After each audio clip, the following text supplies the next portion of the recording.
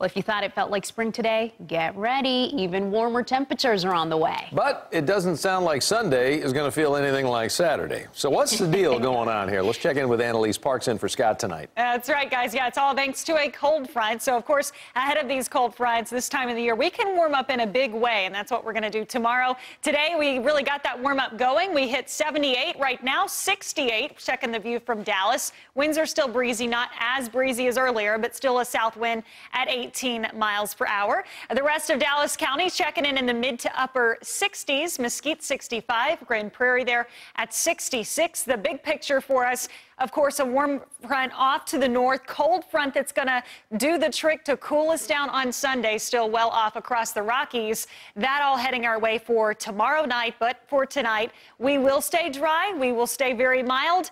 And then again, temperatures are going down after tomorrow. We've got a pretty forecast, though, for tomorrow afternoon. I've got details coming up.